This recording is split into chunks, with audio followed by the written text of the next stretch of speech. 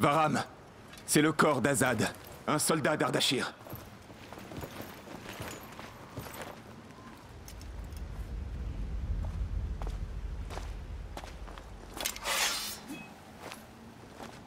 Ces chairs sont putréfiées depuis longtemps. C'est impossible. Ils sont partis juste avant nous.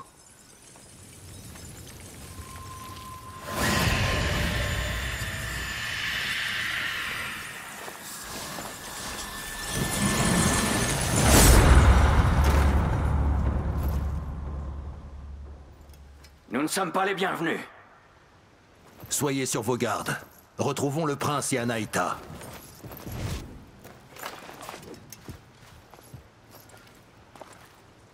Allons vers l'est. Non, je ne crois pas.